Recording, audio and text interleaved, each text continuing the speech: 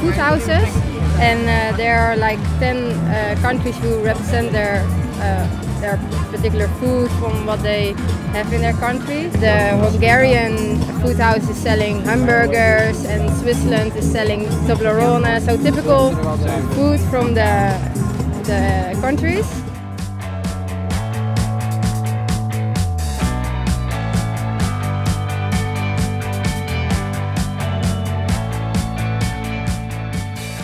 This is all different countries' food. It's all um, pretty distinct from each other and lots of different like different like specialties, I guess you could say.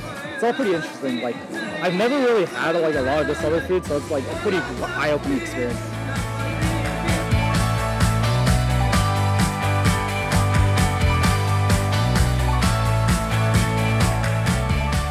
Countries can see what Netherlands is and what we, we give we get and uh, for the Dutch participants it's, it's like a place of home.